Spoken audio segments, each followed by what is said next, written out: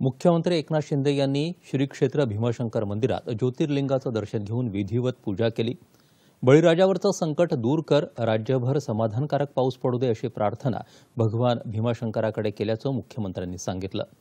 भीमाशंकराला भाविक मोठ्या प्रमाणावर येत असल्यानं सरकारनं एकशे अठ्ठेचाळीस कोटींचा विकास आराखडा तयार केला आहे.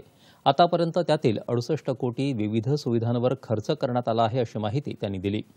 भाविकांची कुठलीही गैरसोय होणार नाही अशा सर्व मूलभूत सुविधा शासनाच्या माध्यमातून दिल्या जातील.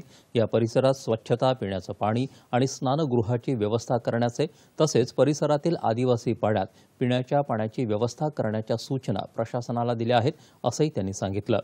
पूजेनंतर मुख्यमंत्री शिंदे यांचा भीमाशंकर देवस्थान ट्रस्टच्या वतीनं सत्कार करण्यात आला.